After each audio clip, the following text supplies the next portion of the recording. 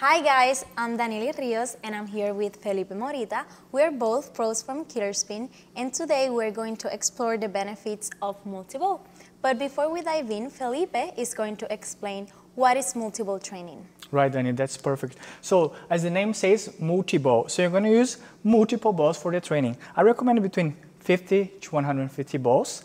And then the multi-ball training, you can feed the balls with your hand or with your paddle. Today we're going to uh, explain how to do with your hands. Yes, that's right, Felipe. And for this exercise, you'll need some equipment. You need a partner, a table, your paddle, and you also need a bucket of balls, as Felipe said. Perfect. Let's so, do another table? Yeah, let's do it. Just a quick reminder why multi-ball training is so useful. To build any kind of precision, you have to repeat a movement thousands of times. When you play with someone else, that is difficult to achieve, unless they are top players who can generate the same ball for you, no matter what type of shot you give to them.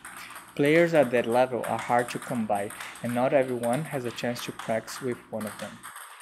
Multi-ball allows even beginner level players to repeat entire rallies. The point continues even when you miss, so the sequence is not interrupted. You can simulate long and intense rallies that are not only difficult or impossible for beginners, but can be a challenge for advanced level players.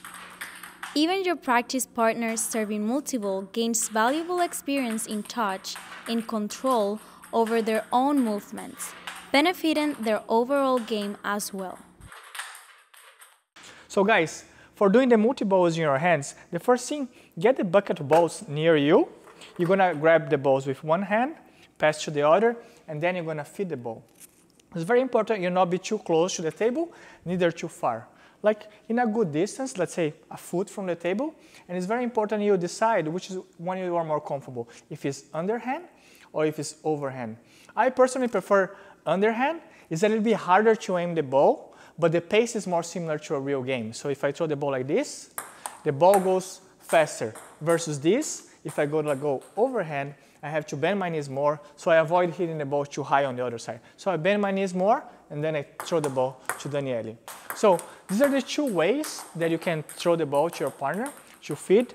And Daniele has some recommendations for you when you start, right? Yes, yeah, so when you start, start slow, right? Because it's not easy. It's gonna be uncomfortable in the beginning. So start slow, and then when you feel comfortable, you can go faster. Mm -hmm. And you can also change the direction or from where you're going to aim that ball. Um, and also for the person that is doing the multi-ball, the ball is not gonna come too fast, but maybe it's gonna come weird. So it's important to pay attention to your position and to your technique. So that's something that you can also work for yourself and the person that is feeding the ball is also right. helping. Because with the hand, sometimes it can be a little bit irregular, your throw. It's important that your partner is ready to move eh, and adapt a little bit to each situation. Uh, I recommend if you've never done this, throw like at least 10 balls to at least practice, you know, whoever is throwing the ball to make sure you're always throwing the ball in the right spot. And then once you get comfortable, then Daniele can go and I can go a little bit faster, you know, so she can, you know, and it's a little bit more realistic. And then I can go here and I can go to her back, backhand. And this time I'm gonna throw overhand. So I bend my knees and I do the same thing.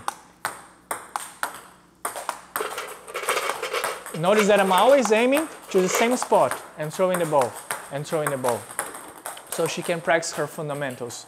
It's very important, as she said, start slow and as you get more comfortable, you can start like going faster and faster if you are able to, to place the ball where you want. Yes, and something that I recommend is to ask for your partner feedback so you can have a better understanding what they want to practice or if they maybe want to do an exercise with footwork. It's, it's really important to know um, your partner's feedback.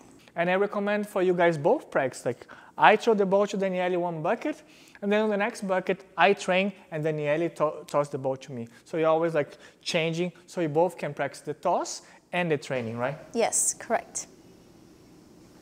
Thank you. Well guys, that's it for today's video where we explore the benefits of multi-ball and you also learn how to do multi-ball feeding with your hand. That's perfect, Danny. And in the next video, I'm gonna teach you how to do the multi-ball training using your paddle, which is more realistic, a little bit harder, but it's better. It's more beneficial for you and for your partner to learn how to fit the multi-ball training using your paddle. Yes, and if you want to learn more about table tennis, you can check Killerspin Skill Academy where we have more information and we have different courses. You can check the description down below for more information. And remember to subscribe, like this video, and comment down below. Thank you guys. See you next Thank time. Thank you.